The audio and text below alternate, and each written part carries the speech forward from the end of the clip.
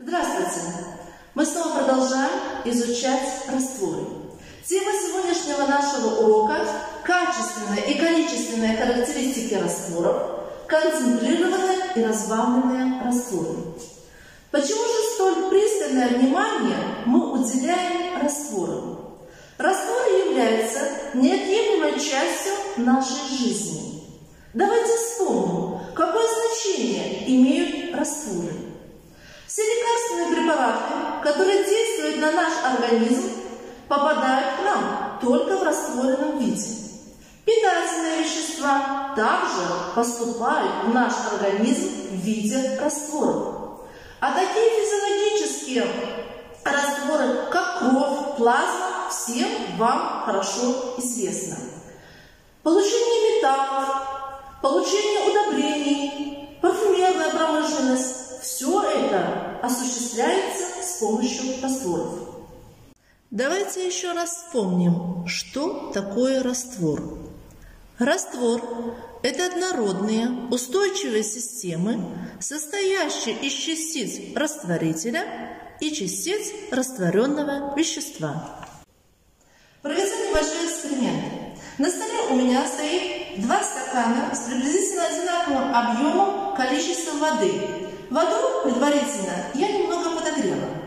Здесь же у меня на столе стоит два стакана с разным количеством сахарного песка. Ну, просто сахар. Итак, я растворяю сахар в воде. Для большей убедительности опыта я перемешиваю в одном стакане и в другом стакане.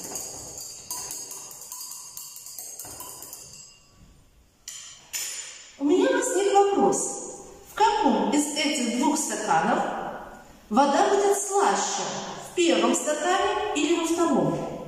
Как же посмотреть, где вода слаще? Вы можете предположить, что надо попробовать. А скажите, разве мы не нарушим технику безопасности? Конечно же нарушим. Значит, нужен другой способ. Какой же? Мы можем предположить, что в том стакане, где количество сахара было меньше, это первый стакан, у нас вода будет менее слаще, чем во втором стакане, где количество сахара было гораздо больше. Но как же можно характеризовать растворы? С какой позиции? По какому принципу? Существует две характеристики раствора. Количественная, сколько, в каком соотношении, и качественная, из каких веществ состоит раствор. Мы снова продолжаем экспериментировать. Я взяла те же стаканы, что были в предыдущем опыте, то есть растворим сахар в воде.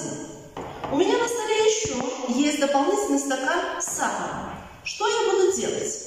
Я всыпаю сахар в стакан. Причем возьму половину этого стакана убедительности опыта я пытаюсь перемешивать. Что мы наблюдаем? Несмотря на мои усилия перемешать, мы видим, что часть сахара не растворяется. Раствор мутный, постепенно оседает сахар на дне. По количеству растворенного твердого вещества в воде Растворы бывают насыщенные, когда раствор, в котором при определенной температуре уже невозможно растворить новую порцию вещества. И ненасыщенные – раствор, в котором при определенной температуре еще возможно растворить дополнительную порцию вещества. Жидкие вещества, такие как спирт, уксус, серная кислота, в воде могут растворяться в неограниченном количестве. Они не образуют насыщенные растворы. Образование насыщенного и ненасыщенного раствора тесно связано с температурой. Вашему вниманию представлены графики растворимости твердых веществ.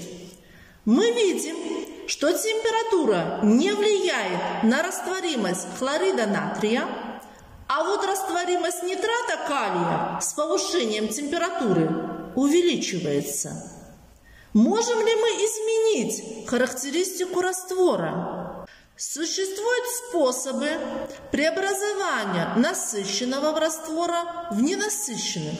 Для этого необходимо добавить воду и удалить часть растворенного вещества.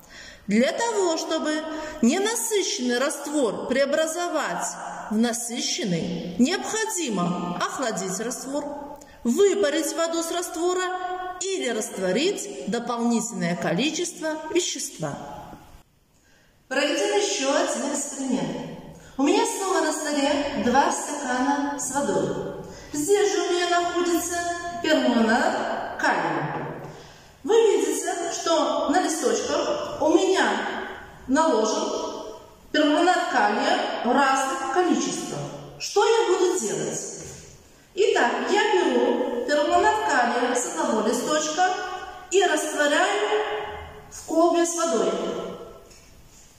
И беру перманганат с другого листочка и также всыпаю в стакан и растворяю в воде. Мы наблюдаем? В одной колбе у нас раствор гораздо светлее, более розовый. В другой колбе у нас раствор получился темный, насыщенный. Растворы с качественной стороны бывают концентрированные с высоким содержанием вещества и разбавленные с низким содержанием вещества. Концентрированный раствор не обязательно должен быть насыщенным, а разбавленный – ненасыщенным. Например, если взять массу сахара 150 грамм и растворить в воде массой 100 грамм при температуре 30 градусов Цельсия, мы раствор получим концентрированный, но ненасыщенный. Но если же возьмем массу сахара 215 грамм и растворим в воде массой 100 грамм при той же самой температуре, то раствор получим насыщенным. Запишите домашнее задание. Параграф 49.